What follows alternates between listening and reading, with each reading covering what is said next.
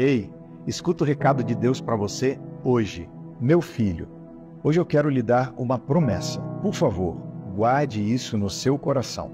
Para cada tristeza que você passar nessa vida, eu lhe prometo duas alegrias. Quando a vida se parecer um emaranhado de problemas, dúvidas e perdas, saiba que eu tenho uma resposta.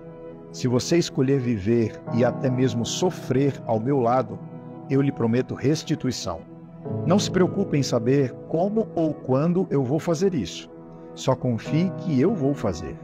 É que muitas dessas alegrias não caberiam em uma vida tão pequena como a que você vive aqui na Terra.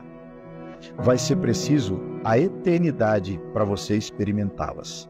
Lembre-se, cada lágrima que cai é uma frase a mais escrita nos livros dos céus. E para cada tristeza, eu prometo duas alegrias.